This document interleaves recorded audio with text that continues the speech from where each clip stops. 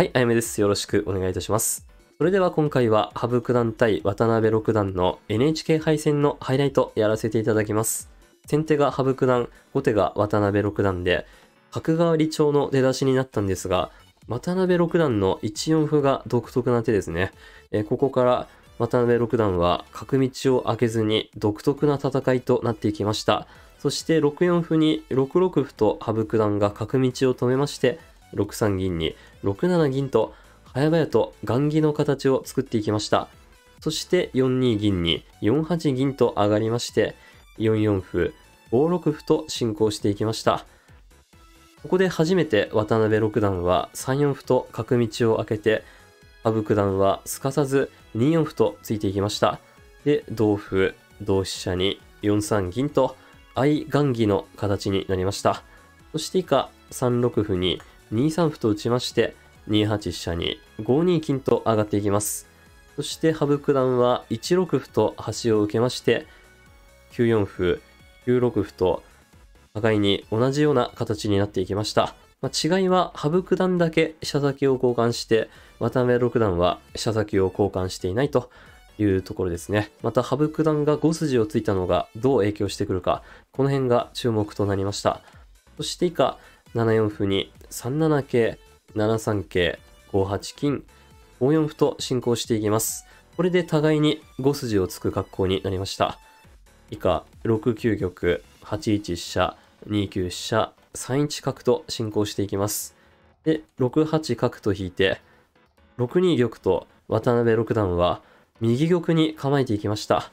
まあ、ここでは4一玉と行く手も非常に有力なんですが、まあ、これがおそらく準備していた作戦というところですね。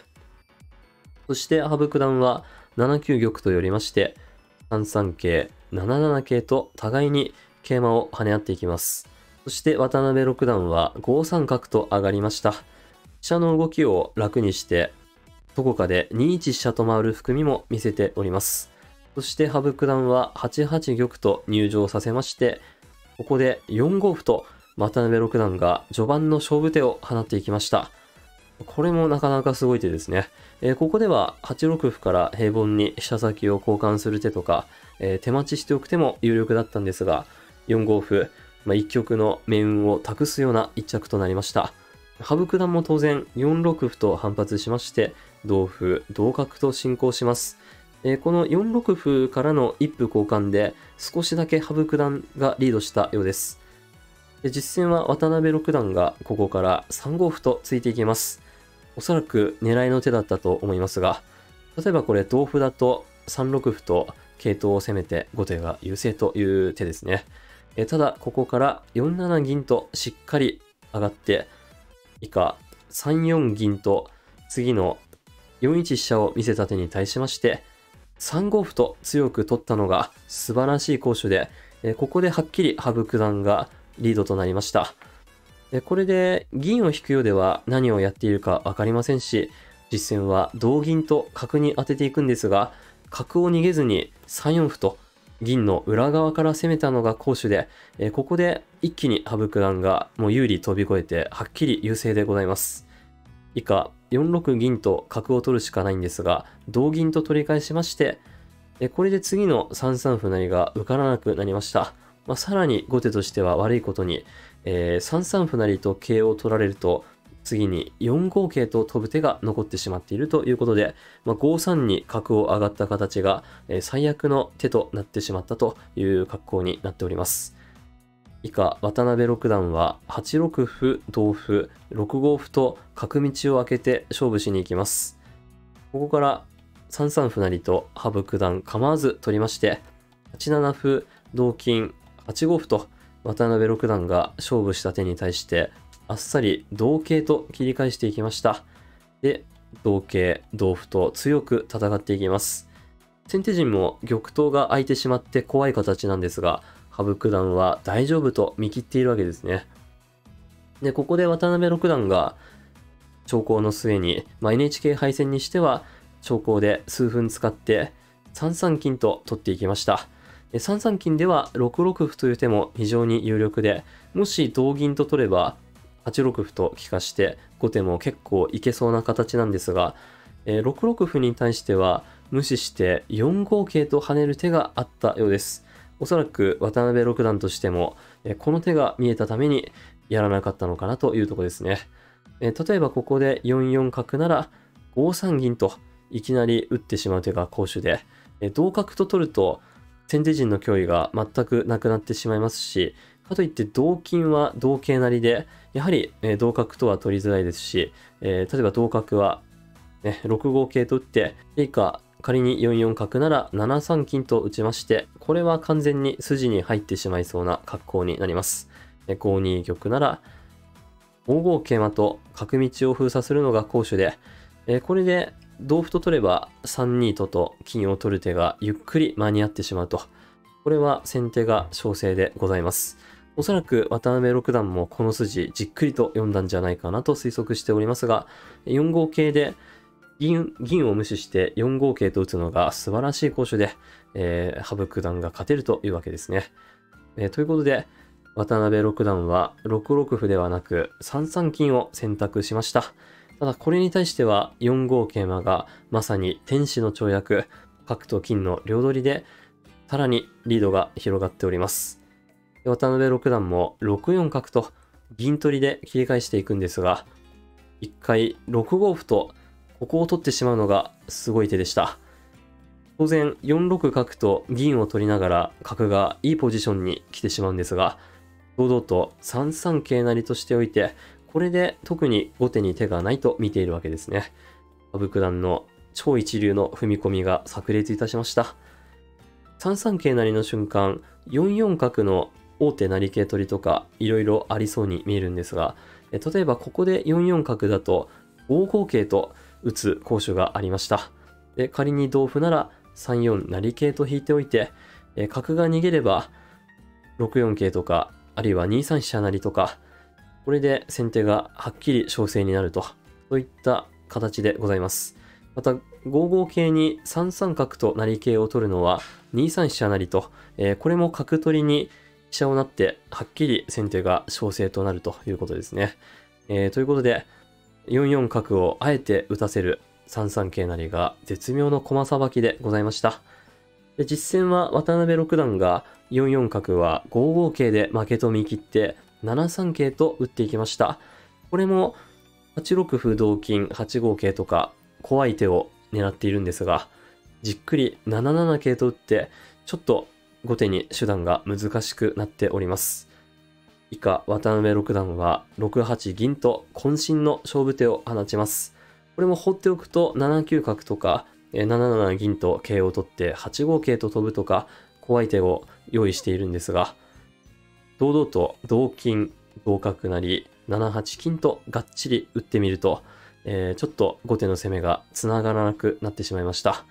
えー例えばここから平凡に5七金だと6八金同金に3五角が王手金取りで終わってしまうという手があります。これがあるのが痛いということですね。で渡辺六段は3五角と繋いでいきました。でここでもう少し何か受けるのかなと思って見ていたんですが、羽生九段はなんとここで見切って6四桂と指しました。えこれが最善の一着で、一気に先手が勝ち筋に入っていきました。まあ先手陣も本当に危ない形なんですが、えー大丈夫と見切っているわけですね。で、渡辺六段はここから6六歩と強烈な一着を放っていきます。6六歩に仮に同銀だと7八馬同玉6七金という強烈な忠捨てがありました。仮に同玉だと6八金と打っていきなり先手玉が詰んでしまいます。まあ、厳密には8八玉とかわしてギリギリ先手が残しているようですが、まあ、ちょっとこの順は恐ろしすぎるというところでございました。で羽生九段はこの6六歩に対しまして無視して5二桂成と金を取っていきます。そして同銀に対して手を震わせながら6八金と馬の方を取っていきました。まあ、このタイミングで馬取るのが好手ですね。えー仮に6七歩成なら同金で手順に金を逃がすことができますし、実戦は仕方なく同角成と取っていくんですが、これで守りがお留守になりましたので、6四銀という強烈なカウンターが突き刺さりました。えー放っておくと次、7三銀ならずから後手玉が詰まされてしまうので、何か対応するしかないというわけですね。例えばここで6七歩成と銀を取った場合は、7三銀成、同玉、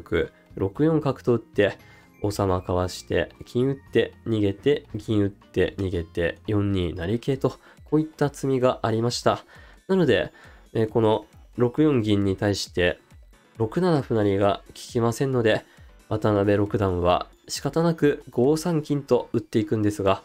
これに対して7三銀成と逆方向から攻めていったのが攻守でした。ならずですね。で、同玉に8四銀と打っていきます。これで、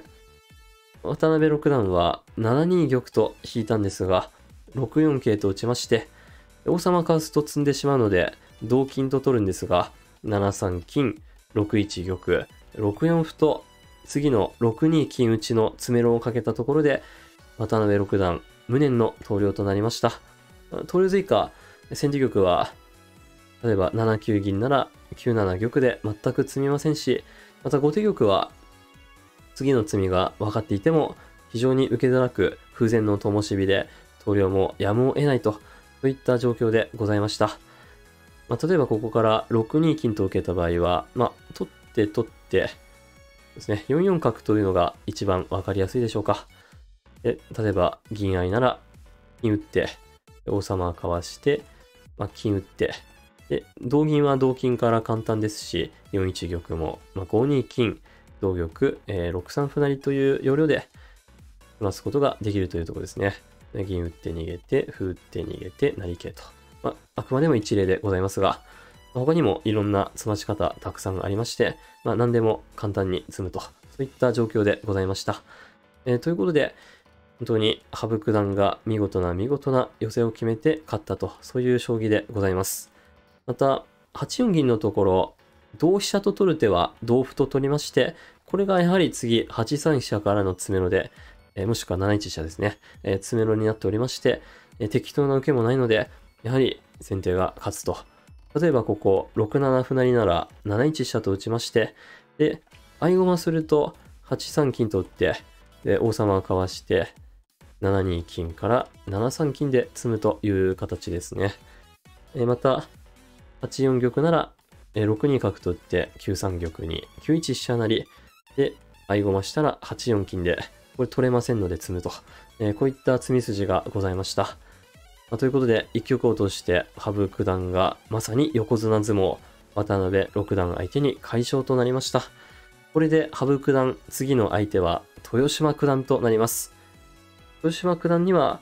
ここ数年分が悪かったんですが、最近では対戦成績盛り返しつつありますので、非常に楽しみですね。え仮に豊島九段に勝ちますと、次は永瀬王座対三浦九段戦の勝者ということで、え羽生九段はかなり厳しいブロックに入ってしまったんですが、果たして豊島九段や、あるいは永瀬王座と当たった場合、えー勝って、準決勝、決勝といけるかどうか注目でございます。ということで、ここまでご視聴いただきまして、本当にありがとうございました。この動画がいいなと思ってくれた方は、ぜひ高評価、チャンネル登録いただけますと大変励みになりますので、どうぞよろしくお願いいたします。それでは、失礼いたします。